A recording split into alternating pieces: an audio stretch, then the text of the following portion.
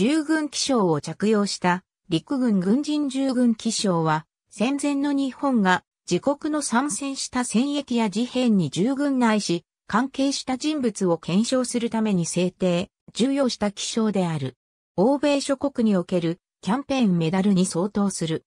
従軍気象は1875年の勝敗従軍杯制定の件により、従軍杯の名称で、小卒の別な区軍校の有無を、ロンセス外戦の後従軍の印にこれを、賜物符とされ、訓東や勝敗とともに制定された。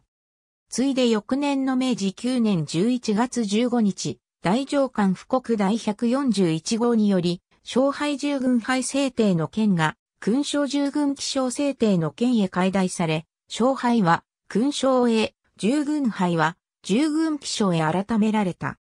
従軍気象は、当該の個人が従軍したことを国家が証明、表彰するものであり、軍人の武功論功交渉に基づき表彰した禁止勲章とは異なり、戦闘における軍功の有無や軍隊内の階級に関係なく、また軍人及び軍属に限らず、要件を満たせば、文民や民間人にも広く授与され、戦闘などの理由で死亡した場合にも遺族へ送られた。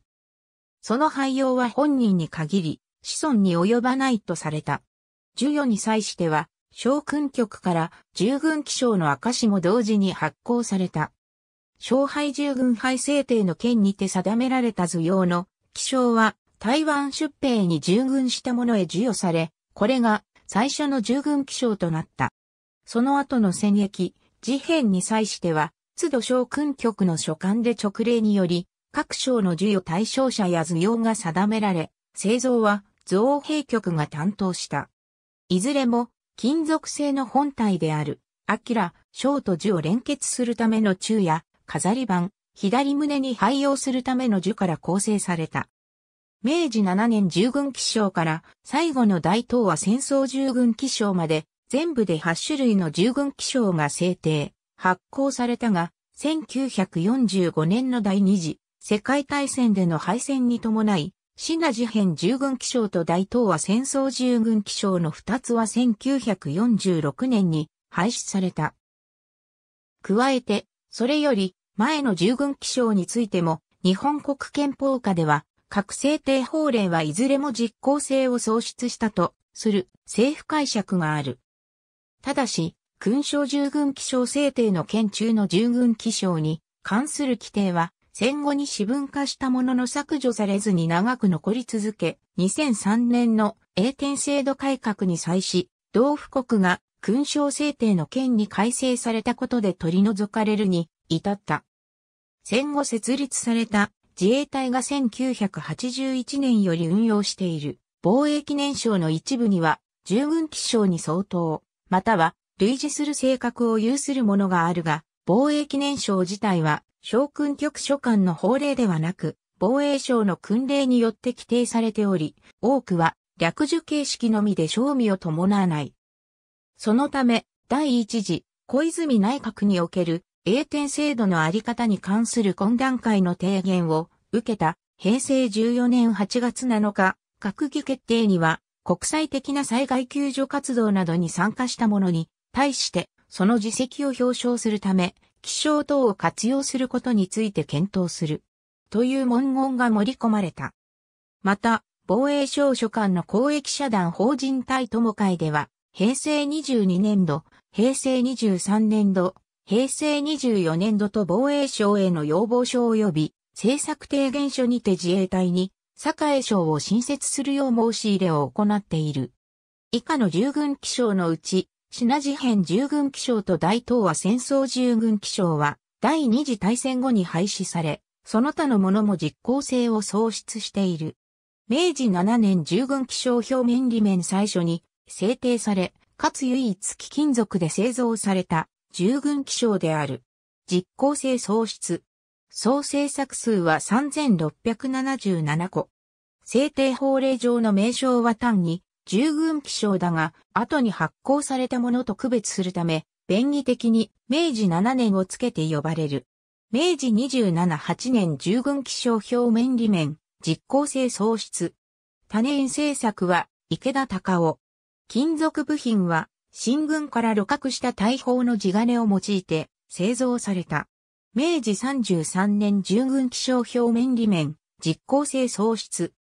明治37、8年従軍気象表面裏面1906年4月1日付で、平賀譲へ授与された、明治37、8年従軍気象の証1906年4月1日付で、イタリア海軍艦船部艦、ブルザリー隊へ授与された、明治37、8年従軍気象の証実行性、喪失。種印製作はそれぞれ、表面は池田隆夫、裏面は増田智夫。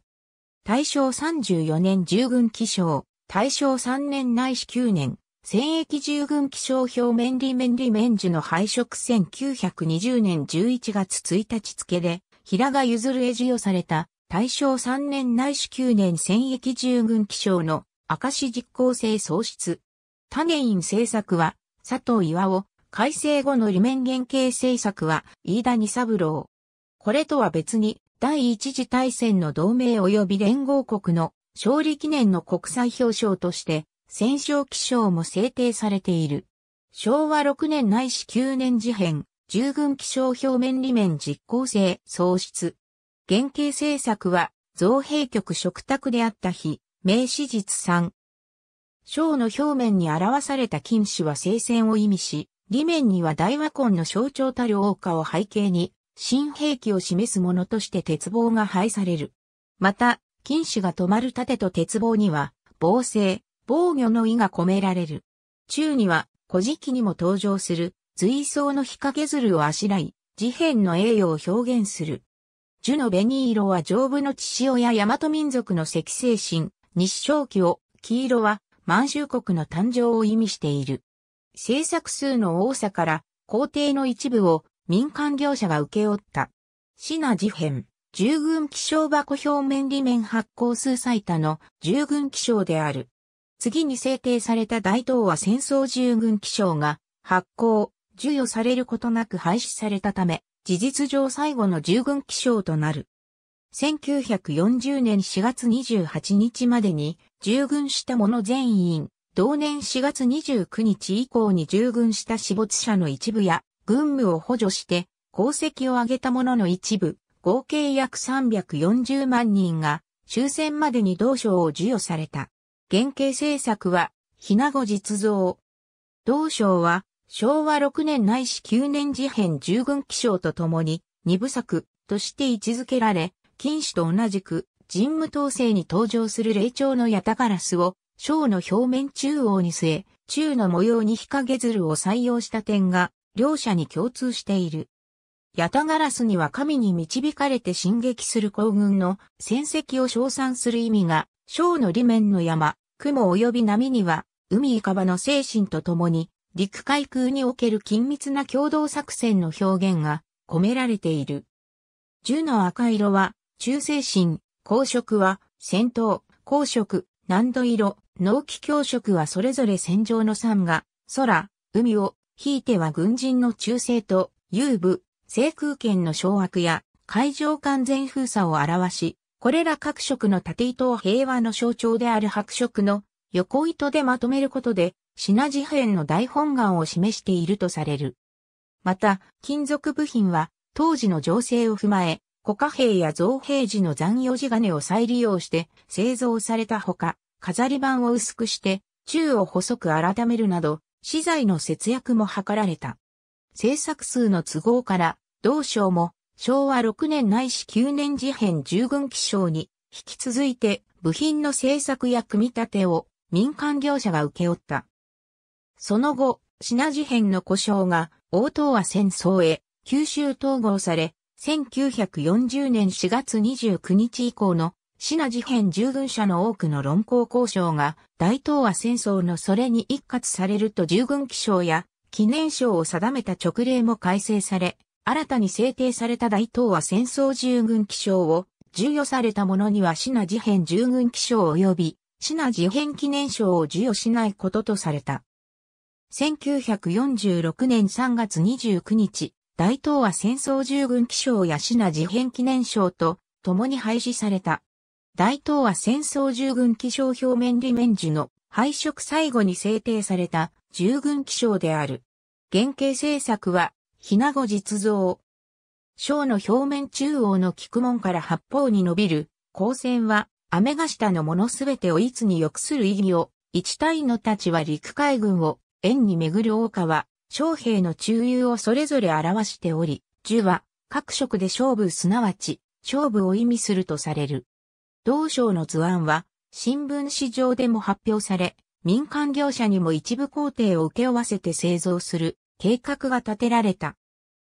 しかし、太平洋戦争末期の戦局悪化と国力低下を受けて、金属部品には軍需で優先する銅に代わり、東南アジアから多く産出する鈴が当てられ、それまで別個の部品であった小と中は一体成形となり、裏面の衣装も中央の縦形と黒字を除き無地の平面仕上げに省略されるなど、従前の従軍記章や記念章より品質が粗雑化している。